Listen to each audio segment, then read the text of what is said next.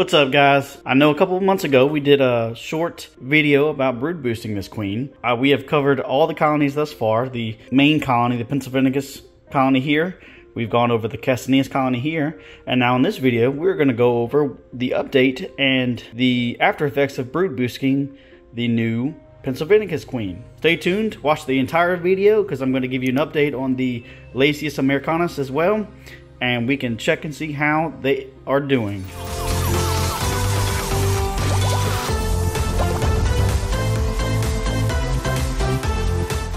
All right, everybody, welcome back to S and the Ants YouTube channel. As we talked about in the intro, we're going to go over the effects of brood boosting. So I've covered this in a couple different videos. Um, I've covered it in how to brood boost. Also did an update on brood boosting this colony again from this colony. This colony is the main Pennsylvania, excuse me, the main Pennsylvanicus colony, which is, uh, we're going to have an update on this in the coming month. It's going to be very exciting, so we're going to hold off on that one. But we took some pupae from this colony and added it to this excuse me, this Pennsylvanicus colony here, and we're going to show what the effects are. So I'm going to take the cover off and give you guys a good shot in. This colony is doing wonderfully. As you can see, they have taken off. Um, they are quite a bit in number. They do have a lot of all stages of brood. So they you, you have pupae they're carrying around back there. You have larvae that are on top of the uh, humidity chamber. And there are eggs back there um, somewhere. I seen them yesterday. Uh, just took them off the heat. You can actually see the queen center frame right there in the back on the wall. They are doing wonderfully. She is uh, doing a lot better than I expected. Uh, I'll do the brood boosting video here. It will pop up. And then I will do another uh, the second brood boosting pop up here um, for the before and after. But if you watch these two videos, this queen was struggling a lot. Um, I got her by herself. This is the queen that I raised from just herself, no workers at all. Uh, she did start some brood. Again, we have some new subscribers, so I can give you an update on you know this entire process. But she was by herself. She was. Uh, I had her in a uh, just a test tube set up. It didn't really work out. I put her in the discus back here. That didn't work out. And I really, really wanted this queen to do well because I'd already done um, so well with this colony. And this colony may have set some expectations for me on what the capabilities of a Pennsylvanicus colony can do if fed, watered, and they have um, sugar water, nectar, whatever you feed your ants. I, I, I kind of see the expectation here. So I was hoping this queen could start off by herself like that. Not the case at all.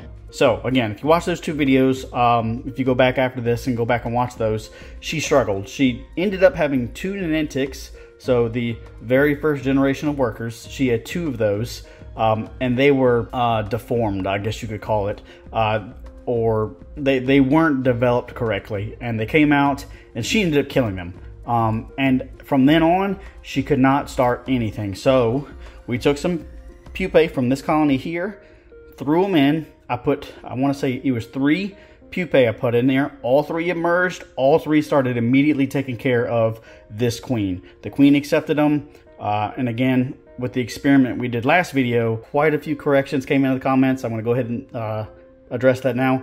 Thank you for that. Um, I'm not scientifically accurate all the time. Um, I try to be, I'm, I'm, a hobby keeper, so I want to make sure that, you know, the, the folks that are everyday keepers kind of understand what I'm going through. But if I do end up misspeaking or saying something wrong, do correct me and I will, I will thank you in the comments. But the genus of Camponotus is all together. And then you have the species of Pennsylvanicus and Castaneus here. Um, and then you do have subspecies of Camponotus pennsylvanicus, not, not exactly the, these species, but of other ant species. So anyway, uh, with both of these being the same species, I could brood boost them quite easily. She took the, the brood on, they emerged, they immediately started taking care of her. And at that point, she started to take off pretty slowly, but was, was doing better. She was eating, she was drinking, she was doing all the things that you want to see in a queen in a new colony. So again, once you go back and watch these other videos, if you'd like to, I introduced, I want to say four more um, pupae from this colony. When I moved this colony into this nest, out of this mini hearth, I, I nabbed four more pupae, threw them in there. So she had a total of six workers that were from this colony, and now we are here. So I will say, this major right here is actually from this this uh, this colony. So I did um, take a, a major pupae, which makes the queen feel a lot more safe. They are a little dirty right now. This colony does great with cleaning the trash out of their colony. Zero trash in here. All the trash is back here. Small colonies like this will keep trash in the corners, but that's neither the point of the video nor important. Um, but this major right here is from that colony and it will actually make the queen feel safer and more comfortable in the nest and she will do better, lay better eggs and take care of the, the workers a little bit better. Um, once you get past that point where the ants are taking care of themselves, uh, she will start to lay a lot more like you can see back there on top of the uh, hydration chamber. As you can see, we went from six, and I want to say this was um, three months ago, I think. I want to say about three months ago I did this. Um, and now you can see they are well ab above six workers. So I do know that everything's working. I do know that she's starting her own colony and they are taking care of themselves, being self-sufficient. Um, and I don't honestly need to do anything um, more to this colony other than make sure I feed them. I, I feed them about once a week, twice a week. Um, keep them, uh, have them uh, nectar filled up, which they do still have some nectar in there. And if you look back here, um, their nest mate is connected with water right here. I'm sorry for the glare, but right here.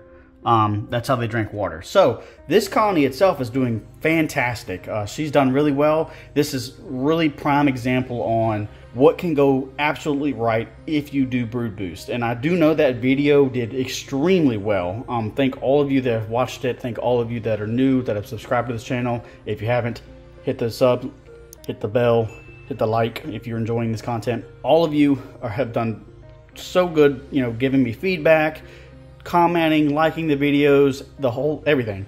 And that video did so well that I think a lot of ant keepers are trying to brood boost their colonies um, or trying to figure out how because when I went online there wasn't actually a lot of research or not research but a, not a lot of resources online to do this other than like forums and we all know you know forum browsing is quite boring and some people just don't read very well or don't like to read so they watch videos instead. So that video did really well. This is a prime example of what can go right with that. So she's doing great. Um, i just wanted to show everybody how they're doing what what's the uh, activity in the nest which is great. Um, i do have plans for this entire setup. I'm going to do a rework of all the colonies here soon. Um, i might do it towards the end of the year I might not. I don't know because we're, we're actually hitting into the fall around here. Um, we will have to address hibernation here soon. Again, I know not, a lot of you are new, um, so I will show you guys again how I do hibernation and uh, diapause for these ants. Uh, that way, if you don't know how to do it, I can give you some ideas on how to do it. So we're going to eventually, um, we have a new nest planned for this colony. They will keep the Outworld because they are so many that I think this Outworld will be their permanent Outworld. So this this will be replaced here soon, hopefully in the next month, and I will have a video on this one. Uh, the Castaneus colony will eventually move into this nest, and then these uh, Pennsylvanicus colony will eventually move into this fortress.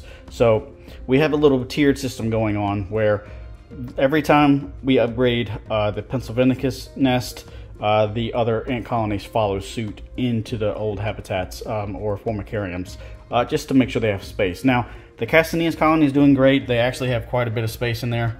Um, as you can see, they're, all their chambers not even close to being full. So once we evacuate this formicarium, it will be empty for a little while until these catch up to, to be able to make the jump because you don't want a nest that is too big for an ant colony or you'll end up with loads of trash inside of the nest where they think this is their living space and then this is their dumping space. Whereas we want this entire section to be their living space and this up here to be their dumping ground so we can clean it up. Just like this nest does. So I need to actually clean this. So that's the update on them. And then we're gonna go into a shot of the Lasius americanus update uh, just for a little bonus for you guys and show them I got I got some good news. I'll be right back.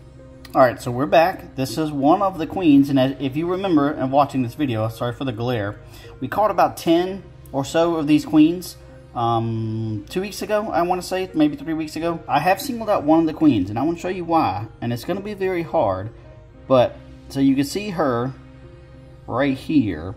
And you can see at the very tip of my finger, she's laid eggs. So, like I told you in the video, if you keep, if you capture about quite a bit of queens, you will hopefully at least get one that will lay eggs. So this is a guarantee that she has laid eggs. Now, this is not a guarantee that she's fertile. As you can see, I did drop some uh, nectar in there for her to fill up on. Um, I wanted her to have as much energy as she needed to to start this colony. But um, this is just a simple test tube setup. You got water all back here. You put water in first, you put a cotton ball in, you put the queen in, and then you cotton ball the top. And you just leave her in this. And I've left her in the diapause chamber or the mini fridge. But all it is is unplugged from the wall. I have them inside of the mini fridge. And like I said, you can see with my finger, it gives a little bit more color. Um, the white on the tip of my fingers is a bunch of eggs. Now it's very, I don't want to twist and, and turn them too much. You can see that there is, uh, I want to say maybe five or six eggs right there. Um, now again, this may not mean she's fertile. Um, queens are known to lay eggs and not be fertile and then they just don't ever develop into uh, larvae. And that would not be fun, but this is a good sign. So we're getting there. Now I don't have any of the queens that have laid eggs. This is the only queen so far that has laid eggs and as you can see, uh, she is quite full on the nectar. So she's been drinking on it, which is good. Um, and she does have water. She needs that as well. But what we're going to do is we're going to throw her back into the uh, mini, uh, mini fridge and leave her alone. And hopefully this will become a colony that will eventually get moved into the discus back there. Right there. Where my finger's at. Um, once they get big enough. Now, again, this particular queen and if she does start a colony, will be in this particular test tube setup or another test tube setup for a, a while. For Camponotus, it's a little bit different. You can get about 10 workers in these test tube setups and then move them into um, a mini hearth. But, uh, and, and they'll do very well. But these smaller ant species, uh, you do not want to do that with because uh, she needs quite a bit of workers to fill out that space that is inside. Again, that goes back to the conversation we had earlier. You don't want to give them too much space because they will feel uncomfortable and uh, stress themselves out and, kill, and they'll die. So you don't want to do that. You want this this particular species. I'll probably wait until they have 50 um, in here, and I know that's hard to imagine that 50 ants in this little tube, but these ants, the queen is much much bigger than the workers in this particular species. So she's pretty big, but um, the workers that come out will not be, and 50 will easily be um, be able to fit in here. I can feed them and uh, clean them out and then swap the test tubes around if I need to. So little update on her and uh, hopefully she's she's actually sitting on top of those eggs. She's got one in her uh, mandibles now, but we'll do we'll do an update on them once uh, they get later on down the road. So thank you all for watching. Um, if you haven't, hit the like button if you enjoyed this kind of content, if you're enjoying everything that I'm showing you guys. I do know that I, I, yeah, I don't have a lot of nests right now and I don't particularly have a great setup. This is actually on my kitchen counter. Um, we're hoping to get like a dedicated room at some point for our ant nests and video recording. So we'll get there, just not right now. If you haven't subscribed, 90 uh, some percent of you guys are not subscribed that watch these videos. Uh, if you're enjoying it, hit the uh, like button, hit the sub button, um, and we'll just keep pumping out these videos and updates for you guys on all the colonies. So the Castaneus are being a little, oh, nope, there's one out there. So they're being pretty good today. But uh, thank you all for watching, and I'll see you guys in the next video. Peace.